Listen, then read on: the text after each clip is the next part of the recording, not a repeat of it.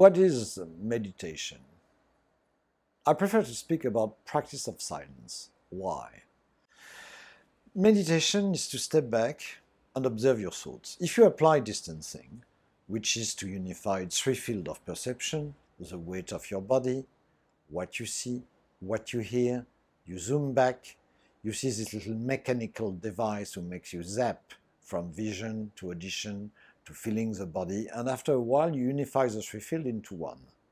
When you do that, your thoughts are further away.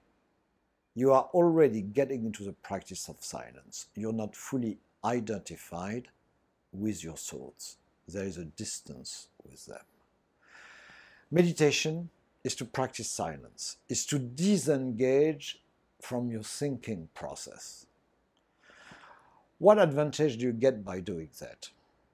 The more you step back, the more you will not be taken by the lure, which will be at the origin of your repetitive pattern, which usually are compensatory structure linked to what is not process, which usually at the are at the origin of losing choices.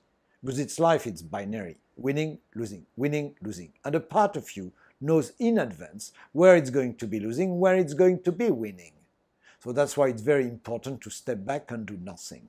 But to step back and do nothing, you have to be silent.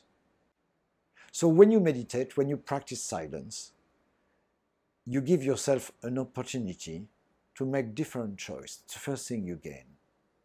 And in time, you will develop subtle sensation, the sensation of your upper part. You feel that in the body tactile sensation, subtle sensation will come in in your meditation, in your practice of silence. And this is a sign that bit by bit your level of consciousness is rising.